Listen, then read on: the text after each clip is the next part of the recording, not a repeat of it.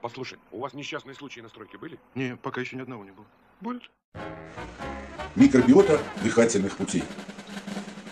Рассмотрим случай, когда у человека через дыхательные пути внутрь, внутрь организма проникает микроб-пришелец и оседает где-то в горле, на бронхах, на легких или просто на слизистой поверхности рта. По каким-то причинам в указанных местах начинается рост микроба-пришельца. При этом происходит нарушение микробаланса дыхательных путей. Именно этот рост микроба-пришельца вызывает беспокойство в нашем организме. Наш организм старается механически избавиться от пришельца, выталкивая его из организма.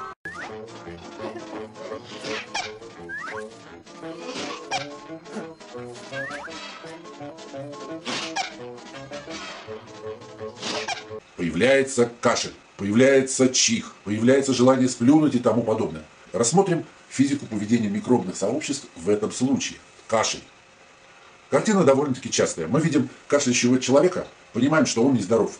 Причем не обязательно, что человек при этом начинает температурить. Зачастую он наплевательски к себе переносит кашель на ногах.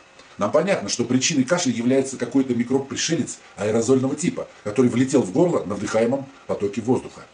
После разрастания микроба-пришельца человек начинает кашлять и даже начинает отплевывать мокротную слизь. Окружающие люди называют такого человека туберкулезником, в шутку, конечно. Позывы кашля происходят у человека с регулярной частотой. Вы наверняка встречали таких кашляющих людей. Каковы причины подобного кашля? Причинами подобного кашля могут быть следующие. Человек закашлял, потому что находится рядом с работающим кондиционером в машине, в офисе, Например, в самолете. Все абсолютно пассажиры кашляют после перелета в салоне самолета. Вы видели, когда пассажиры выходят, они практически все кашляют. То есть они наглотались в самолете этих микробов. Второй случай. Человек закашлял, так как заразился от других людей, которые являлись источниками болезнетворных микробов. Например, в поезде, в магазине, в детском саду, в поликлинике. Везде можно подхватить вирусняк. Человек закашлял, потому что находится в холодных условиях. Его родные микробы перестали активно работать, как бы замерзли, иммунитет снизился, и горячий джигит микроб-пришелец поимел успех, когда залетел в горло. Четвертый случай. Человек кашляет, потому что вдыхает какие-либо консерванты, вызывающие снижение работы родных микробов и, как следствие, снижение иммунитета. К причинам подобного э, кашля мы относим такие случаи, как работа на проклятых рудниках, проживание в городе с ужасной экологией, пропускание через дыхательные пути сигаретного дыма, вдыхание синтетических парфюмов, вызывающих аллергию или астму.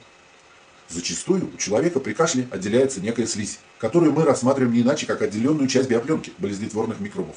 Кашля человек механически старается избавиться от этой слизи, при этом мышцы его сокращаются и выталкивают нежелательных пришельцев. Вылетает часть слизи, а основная масса биопленки остается прилипшей где-то в глубине организма.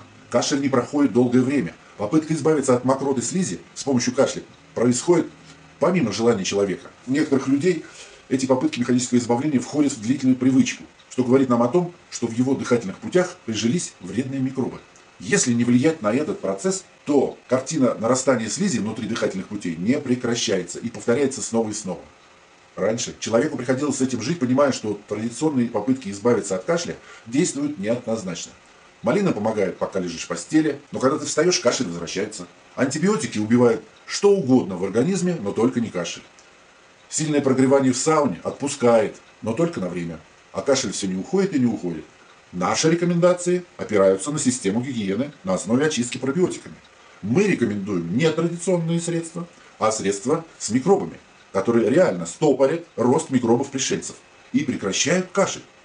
Рассмотрим физику поведения наших пробиотиков. Идея предполагаемого метода. Мы должны запустить внутрь, на поверхность дыхательных путей, пробиотики – наши микробы-пробиотики пройдут тем, тем же путем, что и микроб-пришелец. Поэтому будем обрабатывать поверхность ротовой полости и горла. Далее наши микробы сами распространятся по дыхательному пути.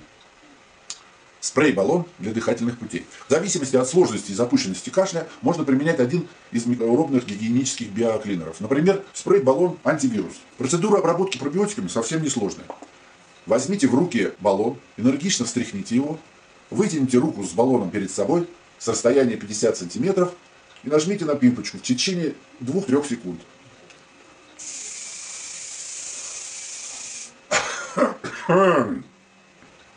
Влажный туман с пробиотиками должен попасть на лицо, в ноздри, в открытый рот, Глаза при этом нужно держа- держать закрытыми. Пробиотики, попав на слизистую носа и рта, сразу начинают свою защитную деятельность. Процедуру рекомендуется повторять утром, в обед, вечером, в течение двух недель, в течение одного месяца, а может быть и всего лишь одного дня. И кашель у вас пройдет.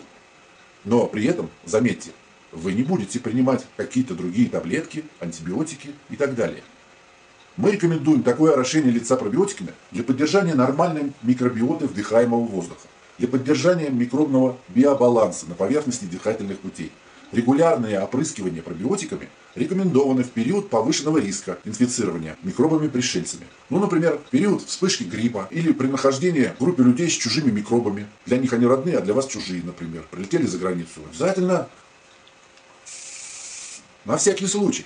И вы не будете кашлять. А В самолете, перед самолетом надо надышаться и лететь. Особенно перед приземлением э, самолета. Э, Попробуйте еще раз спрыснуть свои рецепторы, и вы увидите, все вокруг будут кашлять, а вы нет. Вы не будете кашлять. Вот такой спрей-баллон можно приобретать в нашем интернет-магазине пробиотика.ру.